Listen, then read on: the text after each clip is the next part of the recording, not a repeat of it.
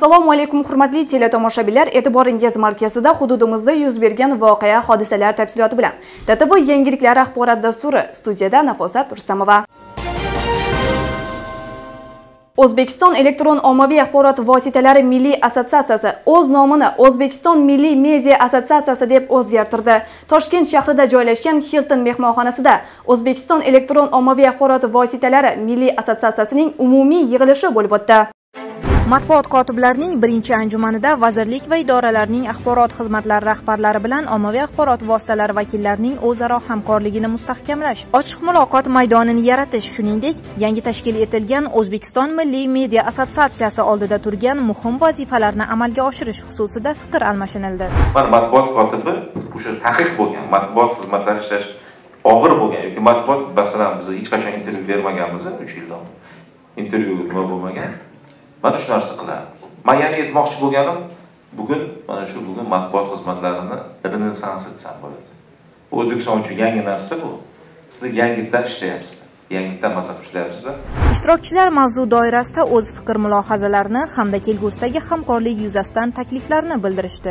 Bu assotsiatsiya bizga kerak qaysi ma'nodaki e, tizim yo'lga qo'yilsa ya'ni bugun matbuot kotiblari o'zlari ommaga taqdim qilishni xohlayotgan materiallar xoh u audio video qanaqa formatda bo'lishidan qat'iy nazar agar assotsiatsiya orqali ya'ni tizimli ravishda e, yoyilishini yo'lga qo'yilsa manimcha matbuot kotiblari bundan yutadi. Mana shu ommaviy axborot vositalaridagi jurnalistlarni qaysidir ma'noda e, vazirlik idoralarga bir taqsimlangan holatda faoliyat yuritish ham biz uchun muhim. Masalan aytaylik bitta telekanalda bitta muxbir bojxona sohasiga ixtisoslashsa va har gal o'sha muxbir bizni tadbirlarimizga tashrif buyursa u sekin sekin bojxona sohasini puxta o'zlashtiradi va kelajakda undan bojxonani yoritadigan yaxshi bir telejurnalist yetishib chiqadi. Konferensiyada nodavlat ommaviy axborot vositalarining faoliyatini zamon talablari darajasida tashkil etish davlat organlari ish yuritishida ochiqlikni ta'minlash shuningdek o'zaro hamkorlik aloqalarini mustahkamlashga alohida ahamiyat qaratildi. Tashkilotchilar tomonidan bildirilgan matbuot kotiblari klubini tashkil etish taklifi ma'qullandi.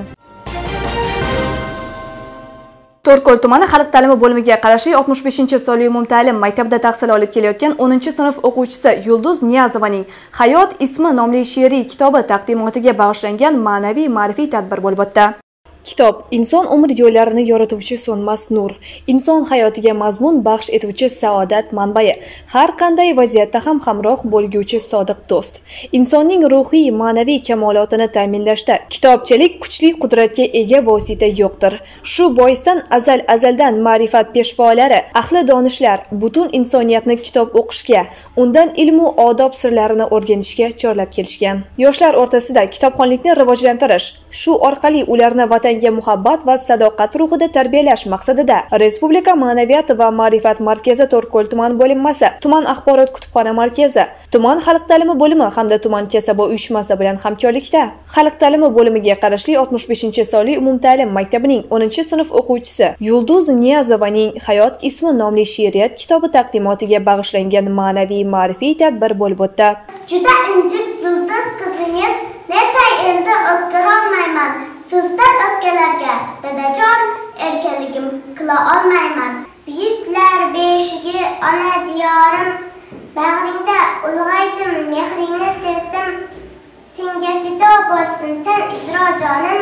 Bulbullar sayragan bog'inda kezdim tadbirda o'zbekiston va qoraqalpog'iston yozuvchilar uyushmasi a'zosi shoira munavvara yusupova ishtirok etdi va yosh kitobsevar ijodkorlarga o'zining samimiy tilaklarini bildirdi. Tadbir davomida tuman kasaba uyushmasi tomonidan yosh ijodkor va ustozlarga esdalik sovg'alari topshirildi.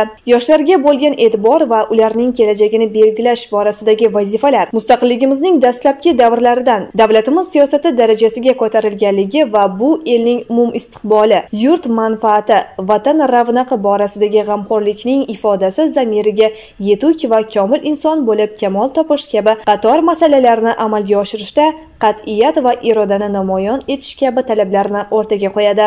Yoshlarga yaratilayotgan bu kabi imkoniyatlardan oqilona foydalana olgan qahramonimiz yulduz niyazova bugun o'z maktabi mahallasi oilasining faxriga aylandi.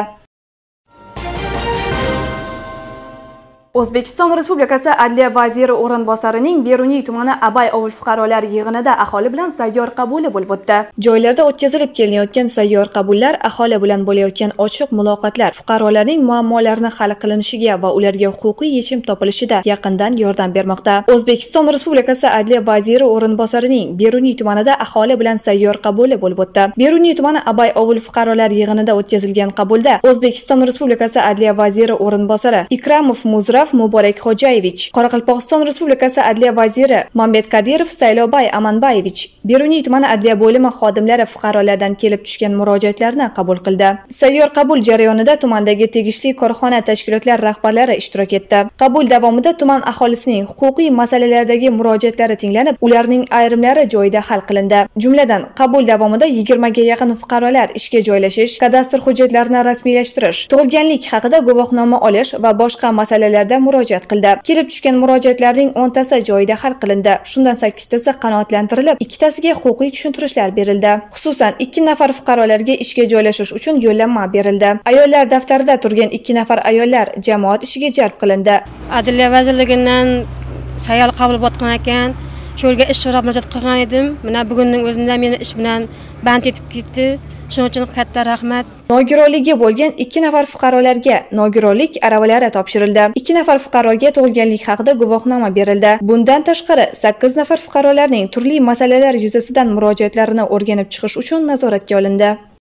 Men nayman mahalla fuqarolar yig'inida yashayman bugun abay ovul fuqarolar yig'inida adliya vazirligining sayyor qabuli ekan shu yerga ish so'rab murojaat qabul qilgan edim. Bugundan boshlab ishga taklif qildi.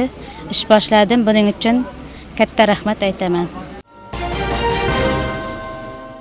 Yurtimiz bo'ylab keng quloch yoygan yashil makon umummilliy loyihasi doirasida respublikamizning barcha hududlarida ko'chat ekish ishlari davom etmoqda.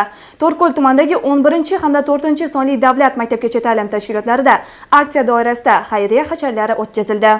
Keyingi yillarda To'rtko'l tumanida obodchilik, ko'kalamzorlashtirish borasidagi sa'y-harakatlar zamirida el uchun yonib yashamoqni shart bo'lgan matonat sohiblarining mehnatlari mujassamdir. To'rtko'l tumanidagi 11-sonli va 4-sonli davlat maktabgacha ta'lim tashkilotlarida prezidentimiz tashabbusi bilan joriy etilgan Yashil makon aksiyasi doirasida xayriya hasharlari o'tkazildi. Ushbu shanbaliklar doirasida tashkilot xodimlari va bir qancha ko'ngilli insonlar tomonidan tabiat uchun foydali ishlar amalga oshirildi. Mana bugun o'zbekiston respublikamizning barcha joylarida umumxalq xayriya hashari davom etmoqda. Shu jumladan bizning maktabgacha ta'lim tashkilotlarimizda ham bu hashar davom etmoqda. Hashar elga yarashar.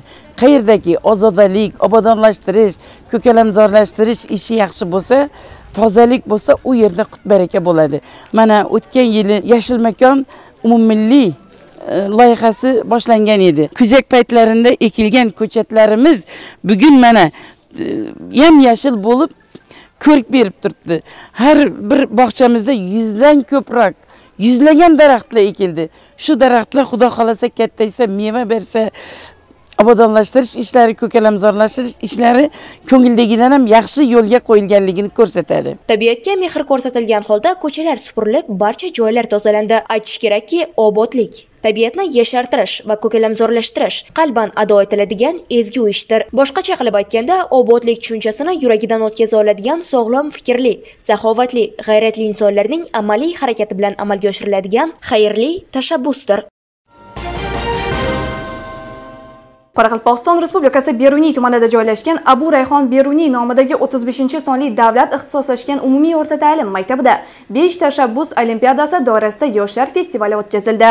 Respublikamiz bo'ylab yoshlarni milliy va umuminsoniy qadriyatlar milliy g'urur va iftixor bag'rikenglik bunyodkorlik mehr oqibat g'oyalari ruhida tarbiyalash baxshichilik an'anaviy ijro opera estrada yo'nalishlarida ijod qilayotgan yosh iste'dodlarni kashf etish ularni qo'llab quvvatlash katta sahnalarda o'z san'atini namoyish etishi uchun keng yo'l ochib berish. Bundan tashqari ularning kitobxonlik axborot texnologiyalari borasidagi bilimlarini oshirish maqsadida yoshlar festivallari o'tkazilib kelinmoqda qoraqalpog'iston respublikasi beruniy tumanida joylashgan abu rayhon beruniy nomidagi 35 sonli davlat ixtisoslashgan umumiy o'rta ta'lim maktabida 5 tashabbus olimpiadasi doirasida yoshlar festivali o'tkazildi. Qoraqalpog'iston respublikasi beruniy tumani xalq ta'limi bo'limiga qarashli 35 sonli ixtisoslashtirilgan davlat umumta'lim maktabida bugun 5 ta muhim tashabbus bo'yicha tadbir bo'lib o'tmoqda. Tadbirni o'tkazishdan maqsad 5 ta muhim tashabbusning 5 ta yo'nalishi bo'yicha o'quvchilarning qiziqishlarini aniqlash ularni qiziqishlari bo'yicha taqdirlash kitob o'qishga bo'lgan musiqaga bo'lgan san'atga sportga bo'lgan qiziqishlarini yanada uyg'otishdan iboratdir. Prezidentimizning tashabbuslari bilan yaratilgan beshta muhim tashabbusda o'quvchilarning bor imkoniyatlardan foydalanish masalan kitobga qiziqish bo'yicha e, zukko kitobxon tanlovlari o'tkazilmoqda.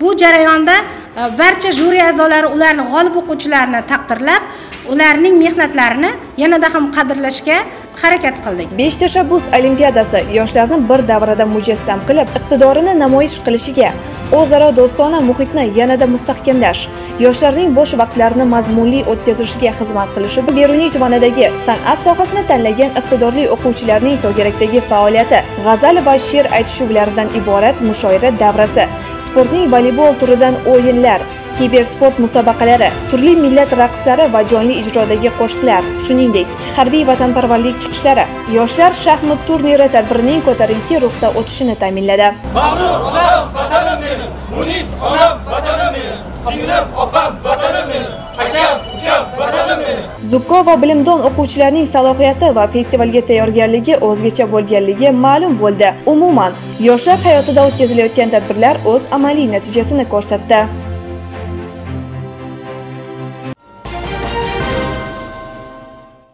to'rtko'l tumanining barcha hududlarida ko'kalamzorlashtirish obodonlashtirish va hududlarning ko'rkamligini oshirish maqsadida yashil makon umummilliy aksiyasi doirasida xayriya hasharlari o'tkazilib kelinmoqda. Shu jumladan to'rtko'l tumanidagi ibn sino mahalla fuqarolar yig'inida joylashgan 5 sonli umumta'lim maktabda anhorli mahalla fuqarolar yig'inida joylashgan 27 sonli umumta'lim maktabda va tumanning markaziy ko'chasida joylashgan xalq ta'limi binosida xayriya shanbaligi o'tkazildi. Vazirlar mahkamasining 199 ev er sonli qarorida mahalla obodligi yurt farovonligi va ramazon hayiti va xotira va qadrlash kuni arafasi munosabati bilan bu qarorni qabul qilinganligi bejizga emas. Bu ikki bayram arafasida fuqarolarimiz va umumta'lim maktablarimizdagi o'qituvchilarimiz o'z uylarini saranjon sarishta qilishga obod qilishga harakat qilmoqdalar. Bu asnoda tuman xalq ta'limi bo'limi maktablarida ham obodonlashtirish ko'kalamzorlashtirish ishlari ko'rib turganingizdek qizg'in davom etmoqda. Maktabimizning har bir jamoasi bu ishda o'z hissalarini qo'shmoqdalar. Biz pedagoglar o'z hissamizni qo'shayotganimizdan yurtimizni yam yashil ko'chatlar ekib ko'kligiga ko'rk qo'shayotganligimizdan mamnunmiz. Shanbalik doirasida 30 dan ortiq o'qituvchilar ishchi xodimlar hamda bir qancha ko'ngillilar tomonidan tabiatga mehr ko'rsatilib archalar tekislandi. Ko'chalar supurilib obodonlashtirildi. 27 sonli maktabda ham obodonlashtirish ko'kalamzorlashtirish ishlarini ko'rib turganingizdek qizg'in davom etmoqda. Maktabimizning har bir jamoasi bu ishda o'z hissasini qo'shmoqdalar.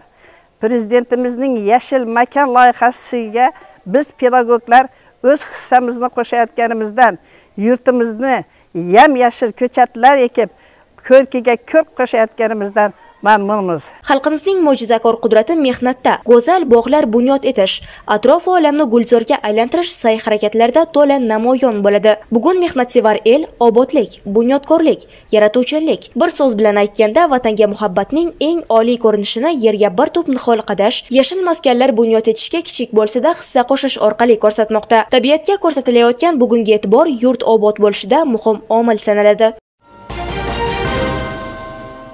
Bugun sizga yetkazmoqchi bo'lgan xabar va lavhalarimiz mana shulardan iborat edi. Keyingi dasturlarda yana sog' omonlikda ko'rishguncha. Xayr salomat bo'ling.